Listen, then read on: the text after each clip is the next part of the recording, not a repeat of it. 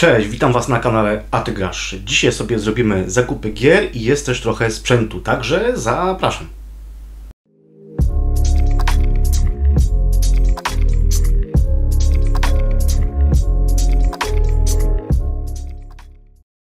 Jak wiecie, przez chwilę mnie nie było, ale nie dałem tego tak aż po sobie znać, dlatego że miałem już po. wcze- Wcześniej miałem już zrobione dwa odcinki. Dlaczego tak się stało? Dlatego tak się stało, ponieważ miałem komputer w serwisie i no nie miałem jak mielić tych wszystkich moich odcinków. Nie miałem na czym po prostu. Co mi się stało? Karta graficzna RTX 3060 Ti, który posiadam w komputerze, odmówił posłuszeństwa i musiałem wysłać do serwisu, po prostu. Na szczęście było na gwarancji, więc jakoś to się udało. Na samym wstępie chciałbym y, Was prosić o subskrypcję, łapkę do góry, dlatego że to jest naprawdę bardzo ważne, aby ten kanał się w jakikolwiek sposób, ale jednak rozrastał, żeby, żebyśmy rośli w siłę, tak? Zapraszam również do grupy A Ty Grasz na Facebooku, która się nazywa tak samo jak kanał właśnie A Ty Grasz, gdzie często sobie dyskutujemy o różnych wszelakich promocjach w internecie, czy to są konsole, czy to są gry, ogólnie wszystko takie gamingowe stricte jest tam właśnie przedstawiane. Mm, Zaznaczam też na temat koszulek, które zamówiłem kanałowe, tak to wygląda, z tyłu jest jeszcze taki duży napis, no to na grupie wszystko jest wyszczególnione, ewentualnie można do mnie napisać i o to zapytać. Koszt takiej koszulki, aby ją zakupić, to jest łącznie z wysyłką 60 zł. Jeżeli ktoś ma ochotę, są różne kolory, do tego są też bluzy, mm, takie kangurki, prawda, z kapturem i w ogóle mm, będą też czap, czapeczki. Także jeżeli ktoś ma ochotę, to serdecznie zapraszam do mnie napisać albo na maila atygrasz, który jest tutaj pod spodem i będziemy wtedy realizować coś takiego. Zaczynamy. Więc tak, słuchajcie, pierw pokażę pierwsze dwie gry, które dostałem tak naprawdę od mojego widza i mojego serdecznego kolegę, kolegi. Nie będę mówił który, bo no bo to chyba nie ma sensu na ten moment. Dostałem coś takiego jak Nintendo, na Nintendo DS mm, jakieś tam e, łamigłówki, tak, będziemy zgadywać sobie różne, różne tutaj wy- wyrazy i, i tak dalej, i tak dalej. Bardzo, bardzo fajny stan, ogólnie bardzo ładny. Ja to dostałem dla dzieciaka po prostu, żeby sobie mm, mógł to sprawdzić, albo też żona, jak tu widzicie, yoga na przykład, nie, na DS-a. Takie po prostu zapychacz, można powiedzieć, na, na półkę. To są bardzo tanie rzeczy. Mówię, ja, ja to dostałem w prezencie, więc nie będę tutaj nie wiadomo czego mówił. W każdym razie do kolekcji jak najbardziej spoko, bo te pudełka, jak wiecie, od DS-a fajnie się przestawiają na półkach, więc jak najbardziej sobie będzie. Pierwszą grą, o której chciałbym cokolwiek w ogóle powiedzieć, to jest Destruction Derby 2. Tak, w bardzo ładnym stanie, niestety Platinum, ale jak zobaczyłem taki stan, to wiecie, że ja gry tego typu jak y, Twisted Metal na przykład, tak, starałem się pozyskać. Mam tą grę już w kolekcji, więc jestem zadowolony niezmiernie. A tutaj mamy Destruction Derby 2. O co tutaj chodzi? Dwójka jest w ogóle sporo lepsza już od jedynki, to trzeba od razu zaznaczyć. Kolejną sprawą jest to, że tutaj nie decydujesz, y, nie decyduje o tym, czy przyjdziemy pierwsi i to jest najważniejsze, tylko najważniejsze w zasadzie jest to, aby, no wiadomo, dojechać do mety, ale zanim dojedziemy do mety, to rozwalać innych swoich konkurentów, tak? Po drodze, po prostu. Musimy w nich wjeżdżać, musimy no, przeróżne, przeróżne rzeczy robić tak, aby ich po prostu wyeliminować z konkursu. Super gierka. Powiem Wam szczerze, że kiedyś takie gry jakoś bardziej trafiały we mnie. Dzisiaj to nie tyle instalując, bo to się nie instaluje na, na, na PSX-ie, ale jak, jak dzisiaj gry, żadnych aktualizacji i tak dalej. W każdym razie, dzisiaj włączając tą grę, to ona jednak troszkę starsza. Nie jest jakaś taka za ładna, nie jest jakaś za piękna. No i mm, ta mechanika jest dosyć toporna, taka typowy arcade, ale zabawy, słuchajcie, jest co niemiara. Zapłaciłem za to coś około 50 zł, bo mówię, no stan jest bardzo fajny, więc cieszę się niezmiernie, że to trafia do mnie do kolekcji. Dobra, lecimy sobie. Słuchajcie, były, było coś takiego mm, w promocji ostatnio na Switcha. Jak wiecie, gry na Switcha bardzo rzadko są przeceniane, a zwłaszcza nie wiem czy aż tyle, ale coś około 120 zł. Tu mamy Bayonettę 3, zapakowana w folii. Myślę, że chyba jej nie rozpakuję, ale będzie u mnie w kolekcji za niedługo już w protektorach od Invisible Black, bo już właśnie będę powoli je zamawiał. Jak wiecie, firma Invisible, Invi- Invisible Black mm, zajmuje się właśnie protektorami, opakowaniami na, na, na nasze pudełka gier i bardzo polecam, bo to jest bardzo, bardzo, bardzo, jeszcze raz bardzo fajna, fajny temat, jeśli chodzi o przestawienie mm, pudełka na, na swojej półce po prostu. I przede wszystkim też chroni, nawet te folie, bo jak folia o folię się przesuwa, to też czasami powstają różnego rodzaju mm, dziwne rzeczy, jakieś dziurki, czy, czy ewentualnie folia może się podrzeć, a tutaj to się na pewno nie stanie. Co to jest Bayonetta 3? Słuchajcie, ja w Bayonetę 3 grałem kiedyś, nawet nie, nie wiem, czy nie próbowałem na PS3 mm, robić live streama, coś mi się takiego kojarzy, tylko to na pewno było z półtorej roku temu. Jeżeli tak było, to było, jeżeli nie, no to przepraszam, ale na pewno grałem na PS3, o, nie przeszedłem na pewno do końca, bo mnie takie gry trochę nie interesują. Typowy slasher.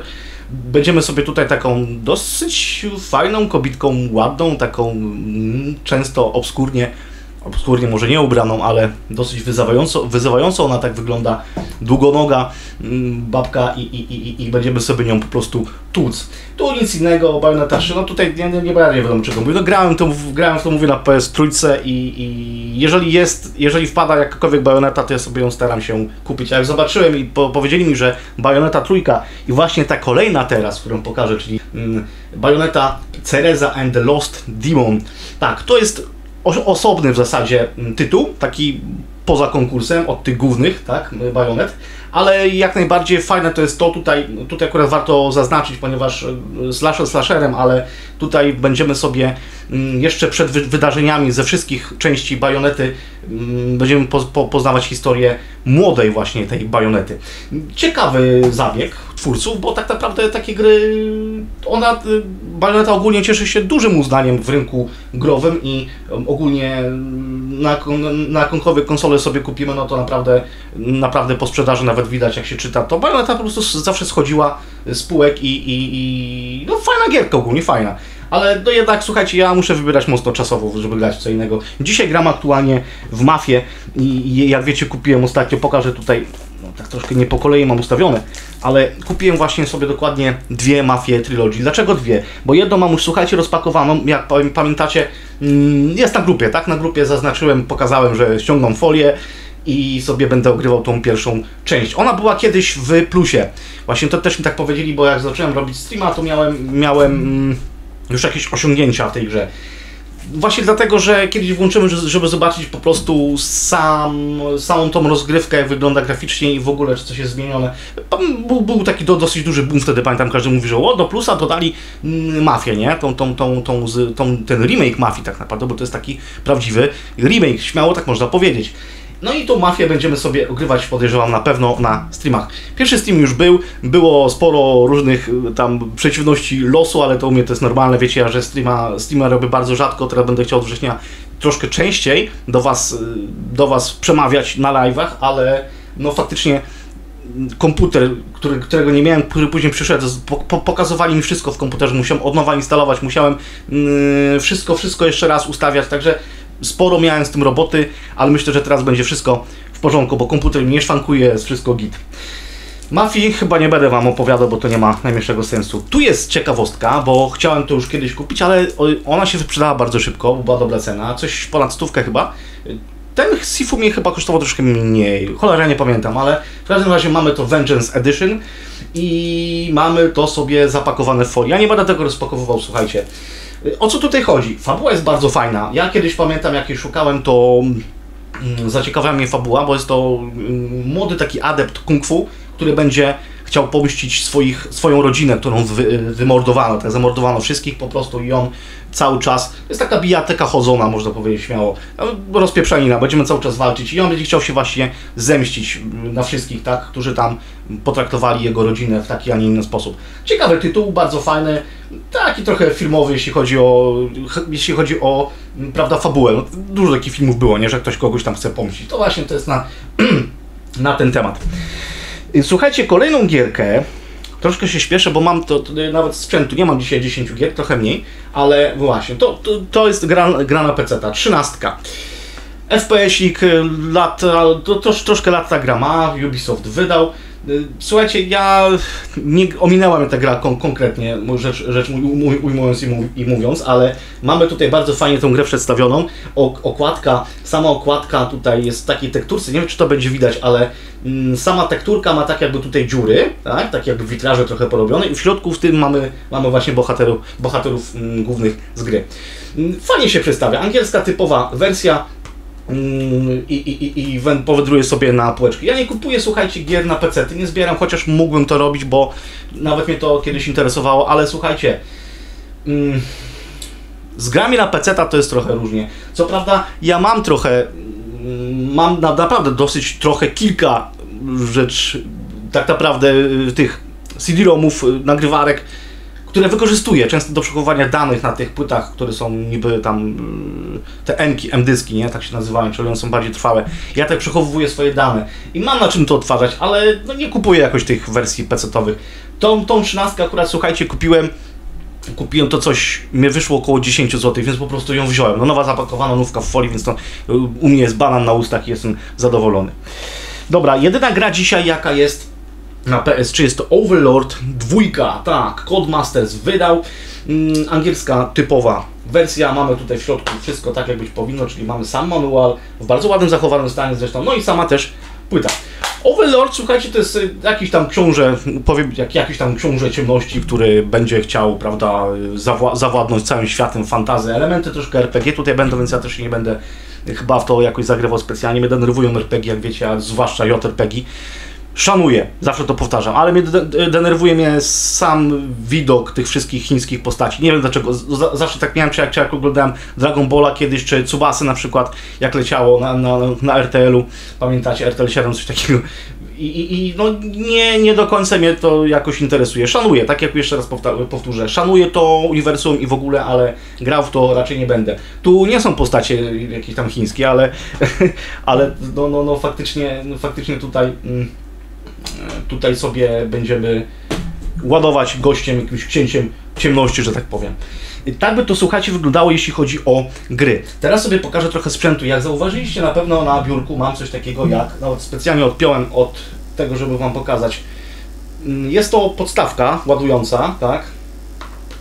Stacja ładująca dokładnie do, do VR-a, do tych właśnie różdżek, różdżki, różdżek właśnie na, na, na, do VR dwójki, tak? Kupiłem to, słuchajcie, dlatego wiem o tym, że niektórzy preferują na przykład kabel, a niektórzy preferują właśnie takie stacje. Ja nauczyłem się korzystać, tak jak widzicie, dalej, tutaj nieopodal mam stację ładującą do padów do PS5 i od tego się zaczęło tak naprawdę, naprawdę gdzie kupuję teraz faktycznie, staram się kupować stacje ładujące, dlatego że nauczyłem się wcześniej, nie mogłem się tego nauczyć, bo układem pada gdzie popadnie, czy tam, czy tam cokolwiek, ale dzisiaj jest tak, że po każdym graniu stawiam sobie na ten, na, na ten stojaczek, na tą stację i serio od, tamtej, od tamtego momentu nie mam w ogóle problemu żadnego z ładowaniem padów, czy na przykład właśnie różdżek, nie, podczas rozgrywki na VR dwójce. To jest uciążliwe, czasami tak jest. Inaczej jest w Xboxie. Niektórzy mówią, że w Xboxie jest lepiej sorry, ale jestem tak się pocę, kurczę, jest tak gorąco, jak wiecie, w ogólnie w całej Polsce nagrywam w ogóle w nocy. I każdym razie, stacje dokujące mocno polecam. Wracając do Xboxa, w Xboxie mamy paluszki, tak? Od zawsze mamy paluszki, nie mamy do ładowania tak normalnie, tylko mamy właśnie paluszki. Super sprawa. I ktoś mówi, że braknie ci baterii, no ale no nie braknie mi baterii, bo ja kupię sobie na przykład cały pak baterii, gdzie jest 40 tych baterii, to mi nie braknie przez co najmniej, nie wiem, ze dwa lata mi starczy do wszystkich zabawek dzieci i w ogóle, nie? także, także spokojnie to wcale nie wadzi, jest bardzo wygodną rzeczą. To, jest, to była regularna, regularna cena, ja kupiłem dokładnie, tak to wygląda pudełeczko. Ja to kupiłem w sklepie typu jakiś tam media, nie? Zapłaciłem za to 229 zł. Katalogo... Zaraz, nie, 200 chyba 79 zł. Katalogowa cena, tak jak wszędzie to nie bez żadnych promocji, bo to ciężko wyrwać na, wyrwać na promocjach różnego rodzaju sklepach, bo po prostu nie wiem, czy tego jest mało, czy, czy, czy, czy no nie robią na to, nie, nie ma na to promocji. Chciałem, kupiłem, po prostu było u mnie w sklepie stacjonarnie, więc zadzwoniłem, okazało się, że jest, pojechałem, kupiłem. Mm, dobra, mm, teraz tak, mamy, kupiłem sobie konsolę Game Boya, pierwszego. Nie, macie, nie, nie, nie ma tutaj, jak widzicie, szybki, bo chcę ją wymienić. Tamtą zdarłem dosłownie, bo była tak, tak zajechana, tak presowana, że mnie wkurzała. Ja wiem o tym, że to można wymienić i już to będzie za niedługo robione, klejone, tylko nie będzie, nie będzie oryginalne, tak jak było plastikowe, tylko będzie szybka szklana. Mm, w bardzo dobrym stanie, słuchajcie, bo ona była odnawiana przez Pawła. Także tutaj spoko, w środku nawet mamy jakąś o, księga dżungli nawet. Jungle Book. Jungle Book. żeby testować, nie? Jak najbardziej chodzi, nie, nie mam baterii tylko wsadzonej, więc nie będę uruchamiał, bo jak wiecie, jak czasami się konsole zapomni, zwłaszcza takie by było szkoda, jeżeli baterie by wylały. Zwłaszcza, że ona była już kiedyś czyszczona pod tym, pod tym względem. Zadowolony jestem, bo bardzo chciałem mieć bardzo ładnego właśnie pierwszego Game Boya. Już jest, działa, wszystko jest prawda i, i koszt czegoś takiego dzisiaj wiecie, że jest kilkaset złotych, tak? Mi się to udało gdzieś trochę taniej załatwić i już, ko już ta konsola wędruje do mnie do kolekcji i będzie zasilała półkę na Nintendo. Kolejną rzeczą, słuchajcie, muszę Wam pokazać też, no dzisiaj będzie troszkę sprzętu, tak? Bo faktycznie doszło mi parę rzeczy, rzeczy, które chciałem. Mamy coś takiego, do tego jest jeszcze gra, ale nie mogę jej znaleźć dzisiaj. Mamy sobie U-Draft. O co tutaj chodzi? Jest to taki tablecik, na którym sobie rysujemy i w grze wtedy, no ale to jest, to jest fajne dla dzieci, tak? Możemy sobie na tym tableciku, mamy tutaj taki długopisik, o, zaraz go, może mi się go uda wyciągnąć. O, mamy tutaj taki tablecik, oj, spadło. I tu sobie na tym tableciku będziemy rysować, tak? Będziemy sobie rysować i to się wszystko przedstawia na, na, na ekranach telewizora czy tam monitora, zależy na czym gramy, na Wii, bo to jest do Wii. Mamy w środku sobie tutaj Wilota, jak widzicie. On się, tu się wkomponowywuje do środka, się go wsadza i on to oczywiście tutaj sobie wędruje i można w tym, w tym wtedy sterować jak normalnie padem, ale tutaj sobie rysujemy. Bardzo fajna ta gierka jest, słuchajcie, dlatego, że dziecko, jeżeli chce sobie mm, rysować, jeżeli lubi, są takie dzieci, które rysują. Ja na przykład mam, mamy y, z Anią dwóch synów, którzy lubią rysować, interesuje ich to po prostu. Zawsze jakieś tam drukowanki robimy im z internetu, tak na Google wchodzimy, jakieś tam kolorowanki. Oni się nauczyli tego i lubią to po prostu robić, więc postanowiłem, że jeżeli coś, coś takiego dopadnę, bo zapłaciłem za to naprawdę grosiki. Już wam nawet nie powiem ile, bo za 20 zł może. Ale jest y, wszystko fajnie, niestety bez pudełka, ale jest, korzystając z tego i fajne to jest, bo tam sobie rysujemy, pieczątki możemy robić różnego rodzaju. Dla dziecka jest świetne, tak? No dzisiaj w dobie najnowszych technologii, no to jest no to już jest stara generacja, ale dzisiaj jest dużo więcej takich mm, gier. Ja wiem o tym, że ten U-Draft jest chyba na PS3 też. Będę chciał to dostać. Kolejna sprawa, słuchajcie, kupiłem sobie, zaraz wam pokażę. Jest to dokładnie, e, kiedyś jak będę miał studio, kiedyś, już niedługo, będę miał studio swoje, z którego zrobię na pewno odcinek, pokażę Wam nowy pokój gracza i kolekcjonera, to będę się bawił troszkę w mechanikę tych, znaczy mechanikę, naprawdę różnych sprzętów. Dorwałem oryginalną z przerobionej konsoli PS3 napęd Blu-ray. Tak, i ja ten napęd, no jest faktycznie w idealnym dosłownie stanie, ja sobie go będę chciał wymienić. Już kiedyś wymieniałem, więc wiem o co to chodzi. To jest dokładnie ze Slimki, z PS3 Slim. I będę chciał sobie to wymienić w PS3, która jest, nie jest zajechana, właśnie jest w bardzo fajnym stanie, ale ma rozpitolony dosłownie mm, napęd, tak? Po prostu nie chodzi. Czasami coś, czasami coś się zdarzy, że załapie, ale zazwyczaj jest właśnie tak, że ona jest mm, no, nieaktywny ma napęd, tak? Po prostu nie instaluje w ogóle gry, rzeźbi, rzeźbi, rzeźbi płytę i w końcu nic z tego nie ma. Więc sobie to wymienię sam. Kolejna sprawa, chyba już ostatnia dzisiaj, to trochę ciężkie takie. Wii Fit. Ja wiem jak to wam pokazać, że tak może wezmę. W pudełku, oryginalnie wszystko jest, wszystko jest w środku, także mówię, no zadowolony z tym mm, na maksa z tych rzeczy, bo powoli do mnie takie rzeczy będą przychodzić. Jest to takie, o tu może będzie lepiej widać. O, jest to jest to taki pad jakby, taki bloker do, do chodzenia, y, do, do właśnie robienia fit, fi- fitnessu, tak, z konsolą Wii.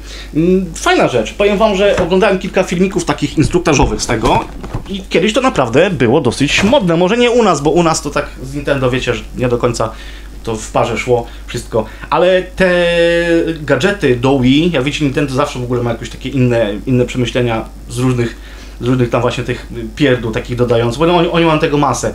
Jeszcze są dwie rzeczy, które będę chciał na Wii, też ze sprzętu i myślę, że kiedyś do mnie przyjdzie, to Wam wszystko pokażę.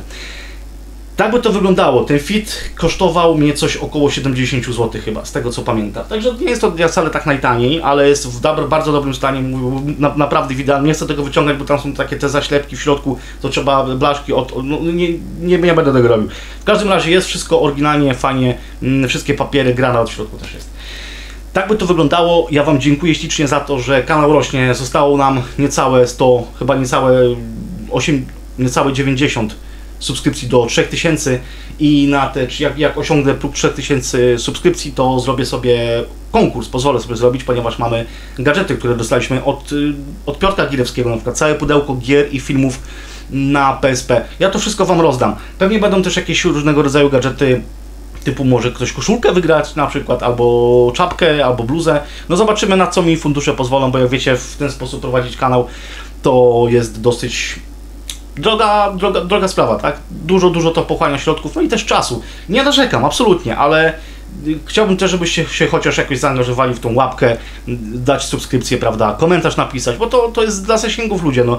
Jeżeli ktoś robi coś takiego jak ja, to naprawdę dla was to jest niewiele, żeby kliknąć, a ja się wtedy cieszę, widzę, że jest zainteresowanie, żeby to dalej robić, dalej, dalej tutaj ciupać na tym komputerze te filmy i po prostu jest wtedy spoko, czuję się, czuję się wtedy doceniony, tak? Chociaż w taki sposób. Wesprzeć też możecie, nie? Też możecie tam tego piątala rzucić i to jest git, no, no przecież wiadomo, nie będę mówił, że jak się idzie do kościoła, to na tacę też się rzuca. No to jest wszystko praca. To również wymaga, wymaga różnego y, rodzaju właśnie poświęceń, gdzie to się wszystko przekłada na to, aby ten kanał lepiej wyglądał. No to przecież o to nam wszystkim chodzi. Przede wszystkim mi, tak?